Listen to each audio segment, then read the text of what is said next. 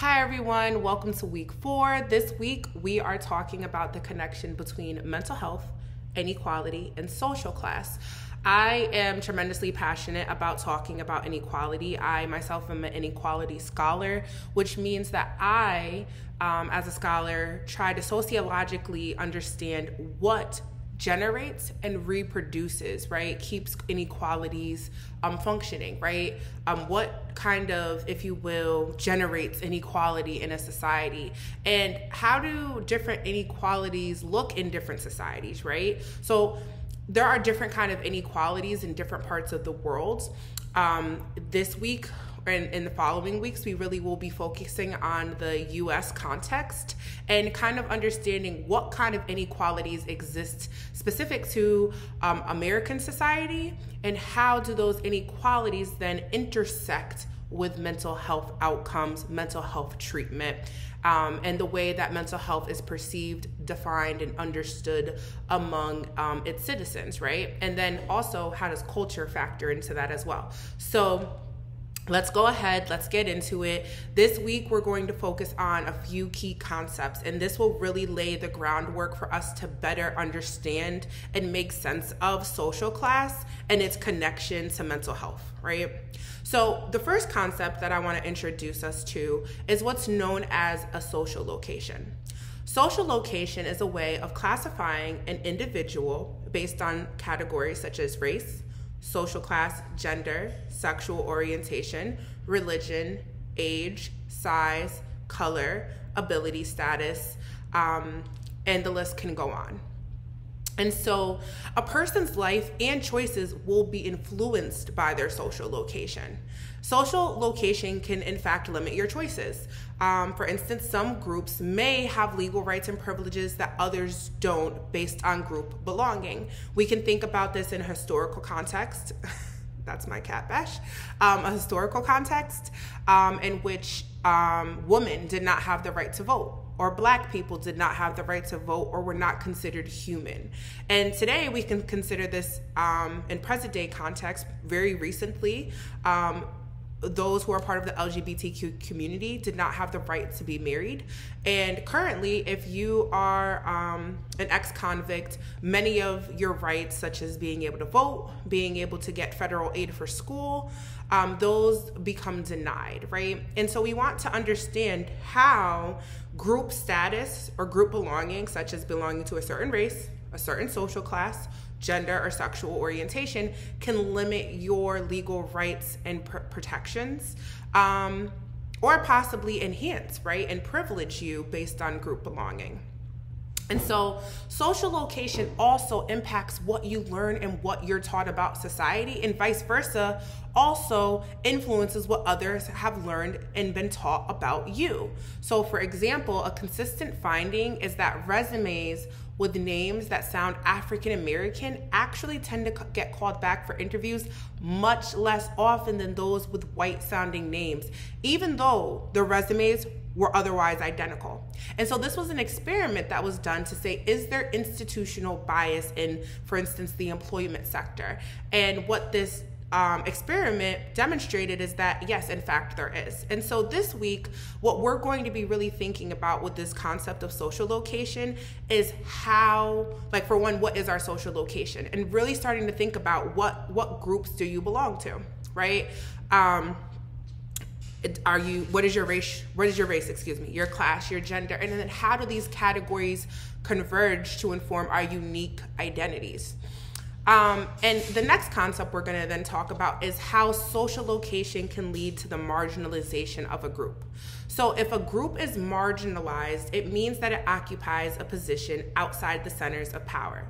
So, for instance, um, those who um, have been diagnosed with a mental illness, um, or even those who have not, in fact, there's very much um, significant stigma um, that is connected to mental health. And so many people have um, been discriminated against because of their mental health status, or they may be afraid to find out a diagnosis because of the stigma that's attached to it, right? And this is also very important to think about when we think about kind of the cultural belief systems that we have about mental illness and how those may differ from one to another. So, marginalized groups are often racial, ethnic, and in this case, we can talk about ability status, right? And how mental health is a part of ability status, right? And how people with disabilities often are um, in our society categorized as a marginalized group, meaning that they tend to have a clearer view of how power works, often because they are on the margins and are not included and closer to that center of power.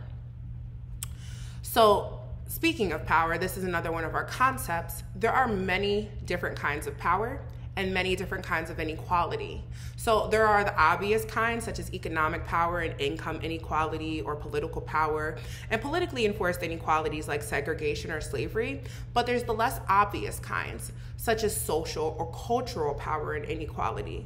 For example, people who tend to speak with, for instance, a non standard accent or dialect are often judged harshly for them and can be seen as less intelligent or less mature.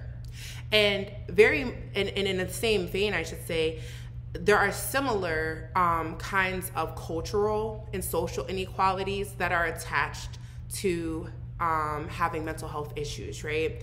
And so we really want to think about how does our society kind of make sense of and treat those who are mentally ill, right? Um, even phrases like "that's so crazy" or "that's insane" are really interesting social artifacts within our language, right? To examine why do we refer to things as crazy or insane and are is that a positive thing right? What kind of stigma gets attached even within the way that we speak about things? Um, and that kind of in a, in a way constructs our reality in the way that we make sense of mental health and mental illness.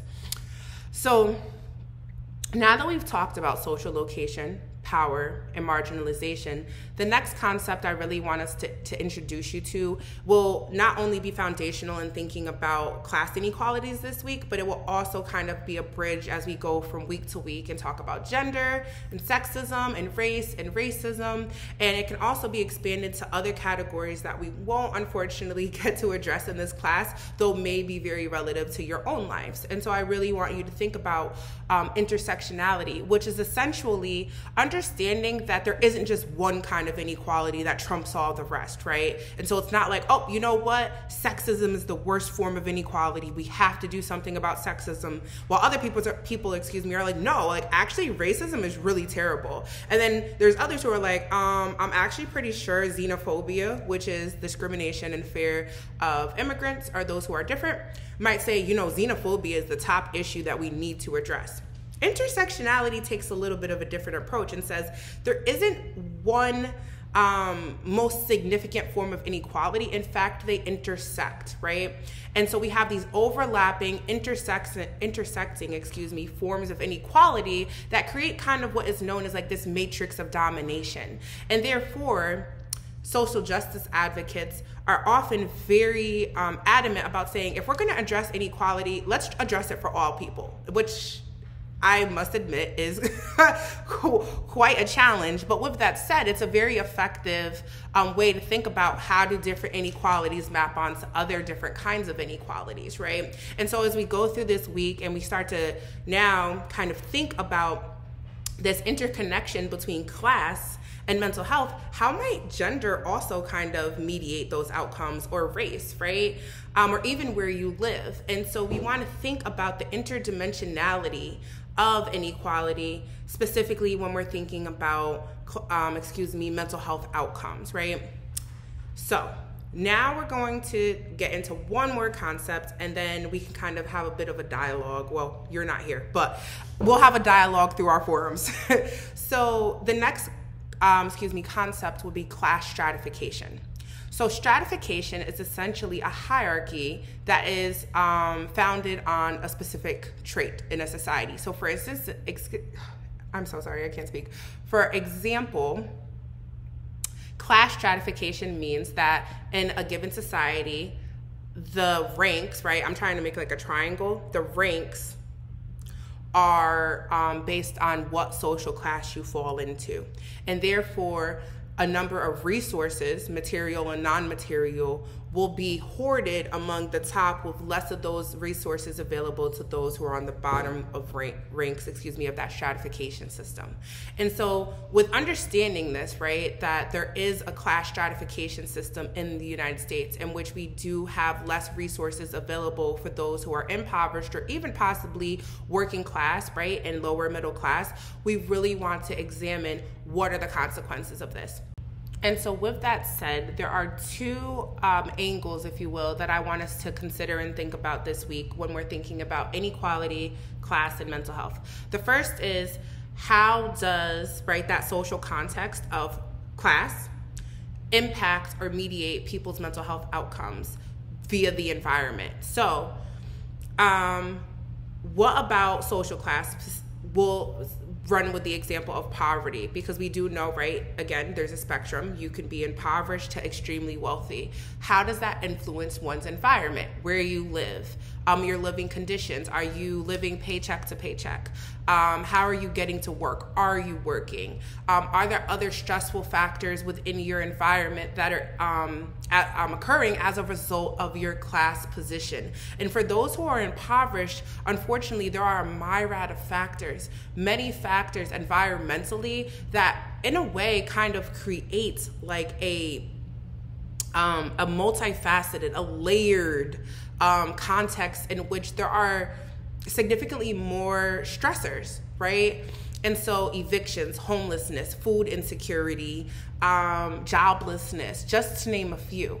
And so, there are so many social problems connected to poverty. Um, and so, what we want to kind of think about from a mental health standpoint are then, or excuse me, is how does this environment actually impact mental health outcomes for people, right? And the second angle we want to then consider is okay, if the environment, let's just say, is negatively impactful for someone's mental health, what can they do about that? And we also see that those who are impoverished are kind of in a double bind because not only may they have very specific um, stressors that are related to poverty, but they also then are often less resourced. Um, and what I mean by less resourced is access to healthcare generally and then quality healthcare on top of that. So, what kind of resources are available um, and what kind of co occurring disorders may be happening as well? Substance abuse, right, is often um, something that co-occurs with mental health issues and then what kind of resources are available for those who maybe are uninsured or who have state insurance. And so this week i want us to think about those two kind of angles right? The conditions the environment of poverty or we can run with those who are even wealthy and think how does that environment environment impact mental health and then we also want to think about how does class impact one's ability to be resourceful and to treat and to respond to mental health i'm really looking to, forward to um, your discussions this week um, I just want to wrap up by saying that this class, this topic in general of mental health hits um, home for me, and especially talking about social class. So, me myself being from Bridgeport, Connecticut, um, I have seen a lot of mental health crises. Um, I've seen um, friends, I've seen community members really going through various struggles. Um, sometimes it's visible, and that's what's also kind of challenging is sometimes it's not right? And how does the community make sense of these things? How does the community to respond to mental health issues? What are people doing to get by and to make it through? And um, what do we as a society need to do to address this issue? That's a question I want to leave you with. Um, I'm really looking forward to your responses this week, and I hope you all are well. And um, we'll talk again soon.